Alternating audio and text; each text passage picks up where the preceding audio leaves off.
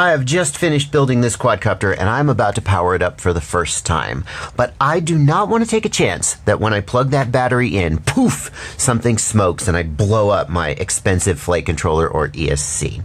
And that's why I'm going to take you through the process of smoke checking your new build. I'm Joshua Bardwell and you're going to learn something today. Before we get into the content of this video, I want to acknowledge that this is something I've shown in basically every build video that I've done in the last year or so. But it's not something I've ever put in a video by itself, and so I think a lot of people might have missed it. And my exact process for smoke checking a new build probably has a few steps that you're, I don't know, tell me at the end of the video whether you already were doing all of these steps or whether I taught you something new. And the first thing we're going to do is get out our multimeter and we're going to put it in continuity check mode. And that is this little, looks like a Wi-Fi icon. It actually is meaning to denote the sound of the speaker. In continuity check mode, when you touch the probes together, it beeps. When there is electrical connectivity between the two probes, like this is conductive, it will beep. Now on some multimeters, you're not gonna have a dedicated continuity check position on the dial. For example, on this multimeter, to get to the continuity, see it right there? To get to continuity check, you put it in the ohms mode and then you press the, you press the, there we go. There it was, right up there. There it is. And you got continuity check. But however you do it, you're going to put your multimeter in continuity check mode. And then you're going to check for continuity first between the two prongs of the XT60.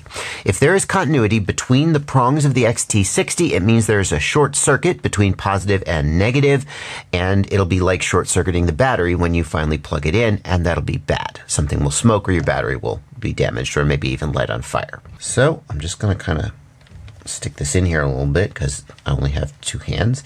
And I'm going to touch here and no beep. That's good. That's what we want. And we can reverse the prongs as well. And when we do that, we did get a beep, which might concern you. That brings us to point number two. If your build has a capacitor installed on it, then that capacitor will cause some beeping. Check it out. No beep, but when I switch the legs, some beeping, and then the beeping stops. The capacitor itself takes a little bit of energy to charge up, and that energy allows current to flow, and when that current flows, the multimeter detects that and it beeps. But once the capacitor charges up, the beep stops. So the first check is to check between the prongs of the XT60, and we do not want to hear a beep, or if we do hear a beep, it will be a few seconds and then stop. And that is how we pass the check. If that check fails, you have a short circuit and you need to figure out where it's coming from. I'll show you how to do that a little later in the video. Now, the next thing we want to do is make sure that we haven't accidentally mixed up our positive and our negative wires somewhere in the process of wiring up our quad. Uh, so what we're going to do is we're going to take one of the probes and put it on the positive wire and then Think about the wiring of the quad. The positive wire goes into the ESC, and then from there, it goes through this plug to the flight controller. And so we can look on the flight controller for a VBAT pad, and we should see continuity. There should be continuity between the positive pin of the XT60 and the VBAT pad on the flight controller. Now, I don't see a VBAT pad broken out on this flight controller. Some flight controllers may not break that out. We've got this power pad here going to the video transmitter, but if I touch that, I do not get any continuity there. Maybe the flight controller is powering the video transmitter from a 9 volt regulator or something like that. Or maybe there's a pit switch that is switching off that pad so it doesn't have continuity. Um, if your flight controller has a VBAT pad, then that's what you will test. If it doesn't have a VBAT pad, one thing you can do is you can actually just look at this plug coming from the ESC. And you see the red wire is the second wire over, it goes ground, VBAT. And these pins here at the very back of the plug will have continuity there. We can find the second one and we can test and sure enough, we do have continuity. So that tells us we have wired correctly all the way through from the ESC, from the battery to the flight controller. What about the video transmitter? When you're performing this check, you're going to want to think about the structure of the wiring of the quadcopter. If your video transmitter was powered off of VBAT, then you would want to come all the way to the end of the line and test here to see that the video transmitter was also getting VBAT and was wired correctly.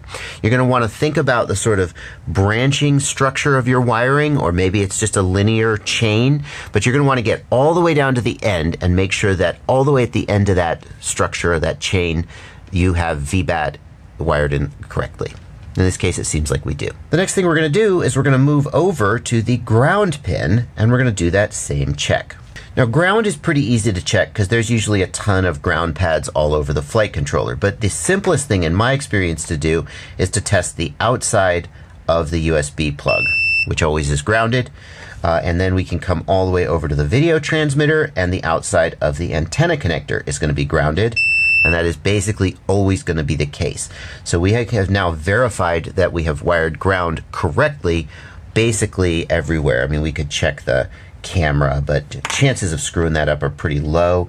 We could check here, check on the receiver. Yep, okay, ground is in the correct place.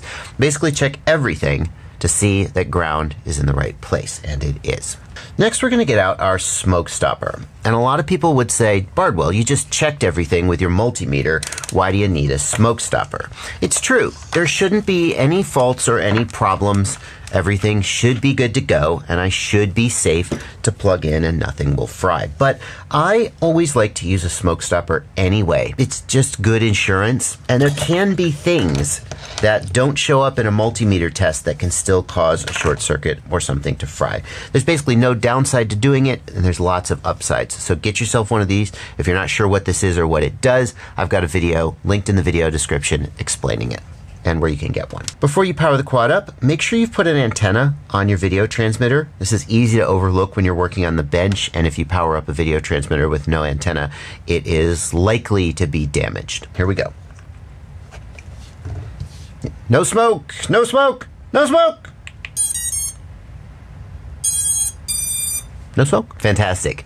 We have got a fully working quad our smoke check is passed, our basic function check is passed, and we're ready to proceed with configuring the quad. Earlier in this video, I told you that if you did have a short circuit between uh, positive and ground, that I would tell you how to find the short circuit. Like, where is it? There's actually a procedure for that. It's not too complicated, and I've got a video showing you how to do it. I'll put a card on screen, and you can check that out if you're interested. In the meanwhile, if you are continuing with the build of this quadcopter, I'll put a link on screen to the playlist, and you can head on to the next video. See you there.